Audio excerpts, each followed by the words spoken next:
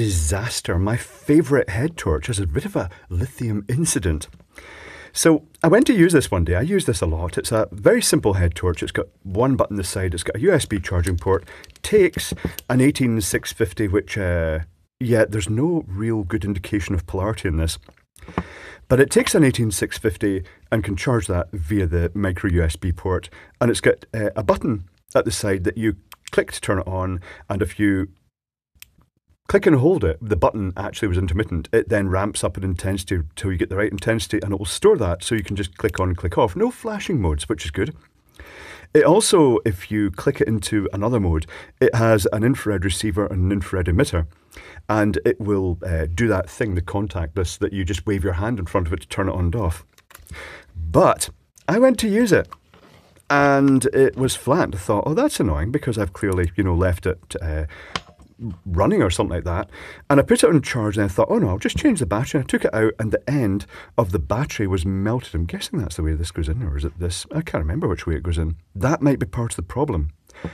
Because uh, the battery is all melted around the positive terminal. The other end, the heat shrink, has actually shrunk up and gone across the little uh, ribbon suggesting there has been a fair amount of heat. And the springs and I'm guessing this is a clue here that uh, the springs are sort of they're a bit sort of firm and not very springy anymore. They've been uh, overheated, and I think a short circuit has occurred between the positive and negative end. Now I'm wondering if that was because I might have put the battery in one way round, uh, tried it out, it didn't work, and then I put the battery in another way round, it did work, and I don't know, because I thought I would have noticed that. Ah, the battery would have been hot. I don't know. Anyway, it's a perfect opportunity to take this apart, and I have to say, you'll probably see some little uh, gnarly marks around it because I have wanted to take this apart before, but because it was my main head torch, I didn't want to do that. For a start, let's uh, take a knife. Oh, let's take a knife. I'll make this one more safe by just gently going. Uh, therefore, it's not a dangerous knife anymore. And I shall uh, peel this cover off. I want to actually peel this sleeve off and take a look at the cell. It does appear to still be taking a charge. I don't think it's been ruined. So there's the little insulator. Let's uh, get down on this just a little bit. Get down. Um, tricky. I am seeing signs of corrosion in here. Like this thing may have actually spat out flames. That's a bit disturbing but you th- would have thought it might have. It may have vented. Uh, I'm not really sure. It does look like it's been shorted because I think the contact other end is also looking a bit. Yeah, it's looking a bit crusty. Right. Okay. I think we're going to have to open this up. So ways this comes apart. This bit unscrews. And when it unscrews, it reveals a standard collimator and that LED on a circuit board in there. There's also this little wedge I'll just zoom out just a tad because, uh, just in case people are watching really huge screens, try and compromise everybody. Uh, you can also see the melting that's happened at the end here. I think I'm pretty sure a lot of the heat has been uh, around these springs, like it has shorted out. And this is where it gets a bit tricky because I think to get the rest off here, I think the only way I'm going to get that out, because this is machined aluminium with a close fitting circuit board at the other end, I think I'm going to have to take the end cap off. And that was where I fell foul last time and it just wouldn't come off. I did uh, buy another one of these with the intent of making this video before it went up in smoke. But that didn't happen. Uh, because uh, just too many other videos to make, really. So many videos to make. There's no time to make all the videos I want to make. So let's put this in here and see if that's going to. I don't think it's going to unscrew, but you never know. It may be threaded. Is that rotating or not? Hard to say. No, I don't think that is rotating. I wonder if it's wedged on or if it's just glued on. This little thing comes out. If I can pull this out as well. That's tricky. I wonder if it just taps off. This is where it could get noisy. If it gets too noisy, I will. Uh, I may have to actually go somewhere I can use suitable force in this. Is this going to defeat me? How is this actually fixed on? I reckon it may be glued. Um, which means I may have to apply some heat to this. Right, tell you what, I'm going to see if I can find a blowtorch. Well, that didn't work. So next up is the Dremel. There's got to be some easy way to open this, but I'm not really sure what it is. I shall find out in due course. I'm going to start uh, just basically slicing along here. And to spare your hearing, I'll just pause momentarily. Okay. I'm not sure what's holding that in. There is a spring clip has popped out here. Could that have been as very much a one-way trip? And latched. There's nothing really obvious, nor is there anything super obvious. Well, there is now, there's a big notch designed to stop that rotating. I get the feeling it may have been glued on. And it was just uh, very resilient to, uh, to being uh, even being heated. But anyway, it's off. The circuit board actually popped out. The circuit board actually goes in like this. Uh, then that plastic uh, sleeve goes in to pack it in from the other end. Yep lag, lag. Can I even do it? Like that to lock that in. And then the end cap goes on. Yeah, interesting construction. And then the lens in the front.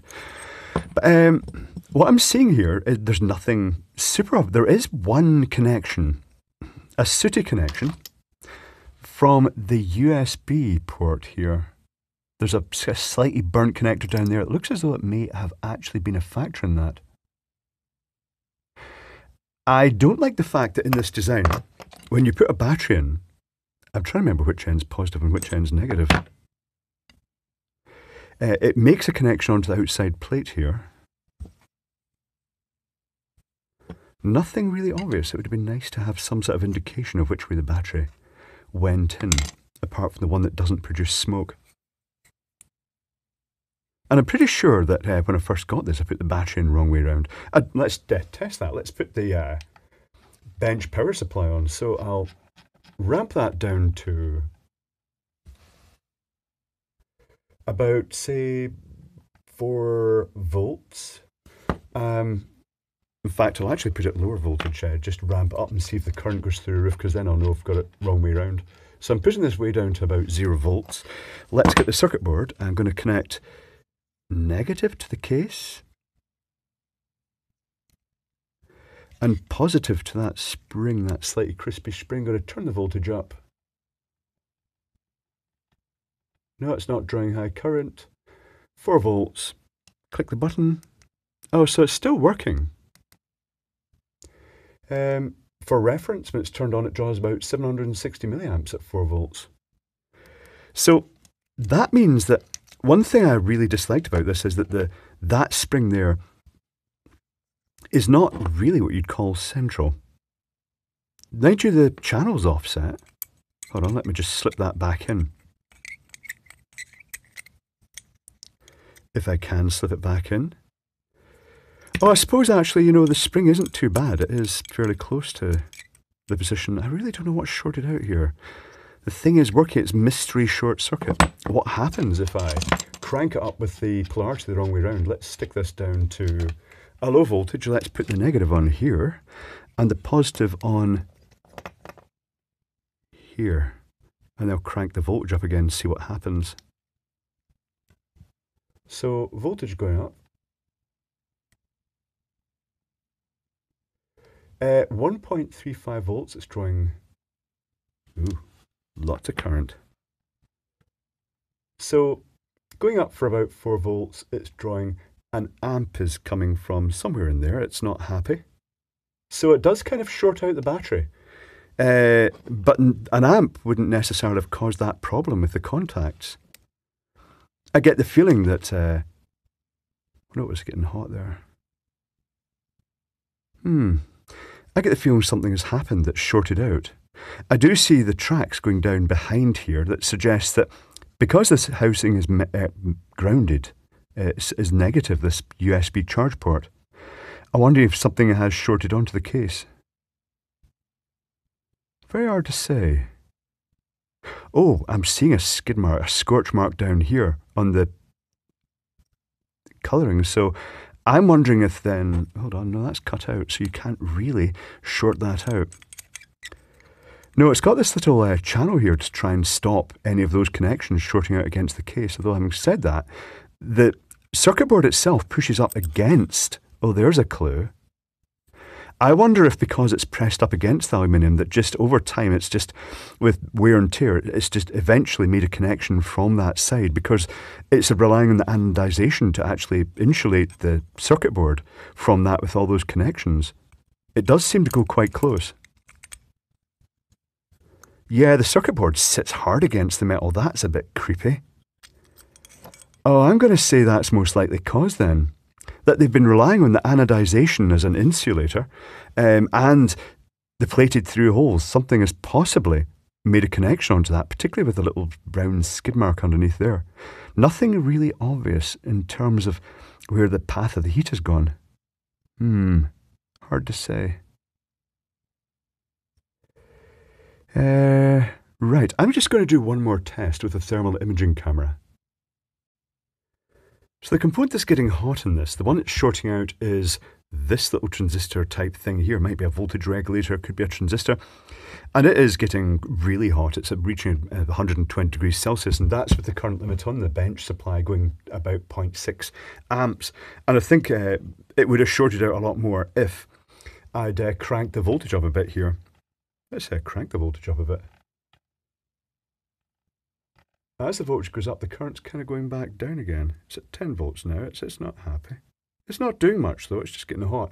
The current's gone down, it's, it's just gone, it's just cut out, it's failed. Oh, that's a bit disappointing. That's not what's supposed to happen. It's supposed to go bang. But uh, that's it. Now, I will say another thing that I've noticed here is that if I bring in the continuity tester and I put it on the uh, metalwork here, that suspicion I had about the anodization inside not being enough to keep things like the solder pads away from the casing. It's all right if you're on the anodization, but as soon as you creep off it onto the edge of the actual where it's been machined out in there, it is conductive. So there's really not much separation between the circuit board itself, this face of it, and uh, the plated through holes in that, and the actual uh, metal here. Any ridge in there could actually have cut into that. But I'm not seeing any obvious sign of scorching on that. I'm not seeing any sign of heat, but it has been passing it. Um, but then again, I do see that big scorch mark in that contact, which suggests that something has potential. Oh, and you know what? That pad does go up to uh, the that area. Hold on. Let's get the uh, continuity testing again.